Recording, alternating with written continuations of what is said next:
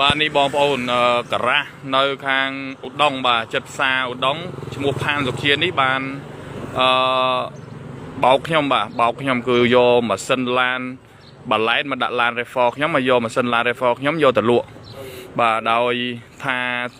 ពេលដោះដូរម៉ាស៊ីនហ្នឹងថាដាក់ម៉ាស៊ីនមួយទឹកបាទស្អាតថ្មីបាទតាមពិតដាក់ម៉ាស៊ីនអេតចាយឲ្យហើយបាទដល់ពេលខ្ញុំជិះមានបញ្ហា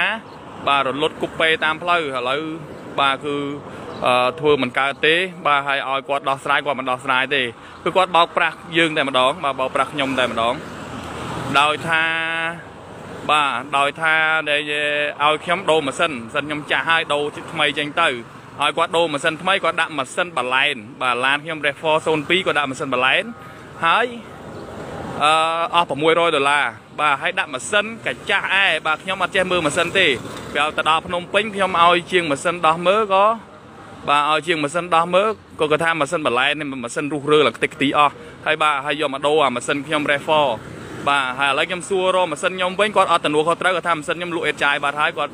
បាទហើយអាអាម៉ាស៊ីនដែលគាត់ដាក់ឲ្យខ្ញុំគឺម៉ាស៊ីនខ្ទេចខ្ទីបាទម៉ាស៊ីនខ្ទេចខ្ទេចខ្ទី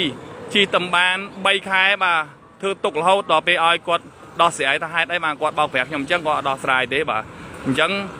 បាទនេះគឺបងប្អូនប្រុងប្រយ័ត្នមុននឹងការដោះដូរទិញម៉ាស៊ីនអីគឺប្រុងប្រយ័ត្នបាទភូតនៅហោចោលនៅជាង បាទគឺជាងនេះឈ្មោះផានសុជានៅផ្លូវបាទអឺស្រុកឧដុង្គនេះបាទចិត្តផ្សារឧដុង្គតែម្ដងបាទគឺគាត់រស់ស៊ីបោកប្រាស់គេអញ្ចឹងហ្មងបាទគាត់រស់ស៊ីអញ្ចឹងហ្មង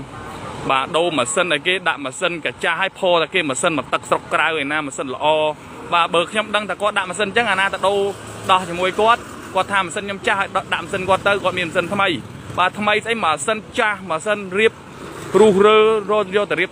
ហើយជិះមិនកើតដល់គាត់អត់ទទួលខុសត្រូវ